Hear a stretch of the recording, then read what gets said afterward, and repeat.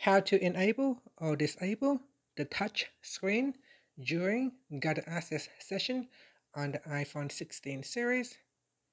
First, let's go back to the home screen by swiping up at the bottom of the screen. And from the home screen, tap on settings.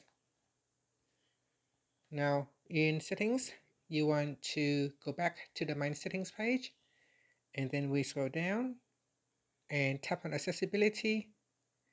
After that, we scroll down and in here tap on guided access. Now make sure you tap on the guided access toggle button to turn it on. It needs to be on so that you can use guided access. Here I will go and open up an app. You cannot open up any app you like, but I'm going to open up the Photos app. And then you triple click on the side button here. So triple press, one, two, three. And this will open up the accessibility shortcuts menu. From here, tap on guided access to turn it on.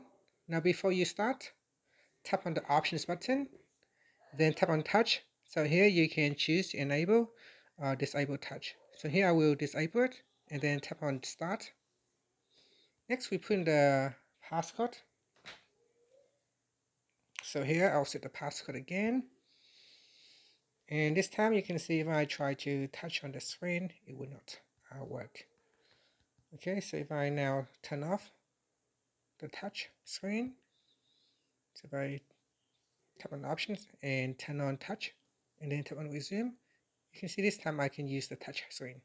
So it's useful if you want to start playing a movie and you want to hand the phone to someone else and you don't want them to do anything to the phone, you don't want them to interfere with uh, the touch screen.